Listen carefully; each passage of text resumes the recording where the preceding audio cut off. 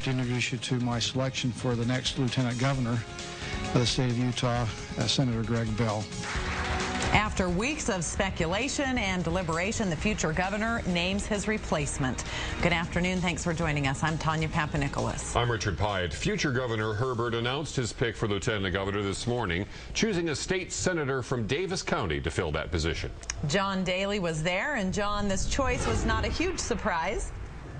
Well, Tanya Rich, uh, that's right. In a word, no, no big surprise. Greg Bell's name has been out there for some time. He was revealed to be on a short list of four just last week. Now, Gary Herbert, of course, becomes governor next week as Jon Huntsman moves on to become ambassador to China. Herbert said today that he uh, talked to a lot of candidates, put in a lot of time and consideration and thought into who would make the best choice. But he says uh, he also got some advice, some, some of it unsolicited, but that he chose Greg Bell because he fit uh, the three C's capability, commitment, and compatibility.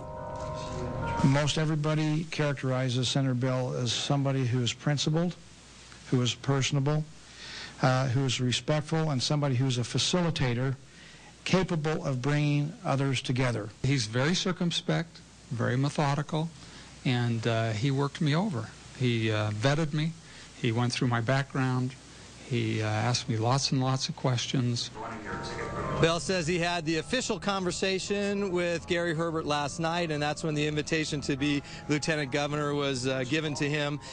Greg Bell has been in politics for some time. He's in leadership in the Senate. He's the assistant majority whip there. He was a two-term mayor in the city of Farmington in Davis County. He was also the chairman of Envision Utah. Now, uh, Greg Bell is considered a moderate, and this is considered to be a, a, good choice for that reason. Someone who helps balance out the ticket that'll run next year uh, in the 2010 election for with uh, the then Governor Herbert, who will, uh, who of course is a, a bit more, uh, be more of a conservative. We should say that uh, this nomination now will go on to uh, the Senate and will need to be confirmed by the Senate coming up tonight.